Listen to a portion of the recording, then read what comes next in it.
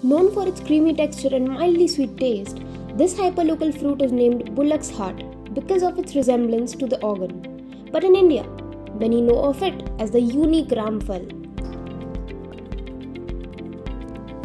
Mostly found in Assam, Gujarat, Maharashtra, and West Bengal, ramphal belongs to the same family of annona as custard apple. It is grown seasonally by farmers in the rural hinterland India, which is why most of us don't see it often in big cities and towns. But if you do see it, don't forget to bring this must have fruit into your kitchen, for ramphal is packed with health benefits.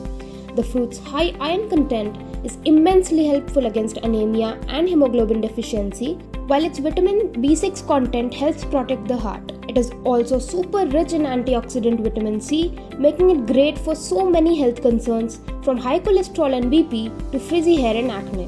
With blood glucose lowering properties, it is also just the right fruit for people with pre-diabetes and diabetes. So if you get your hands on it, enjoy the fruit in the raw form or as a part of a milkshake for your daily dose of nutrition.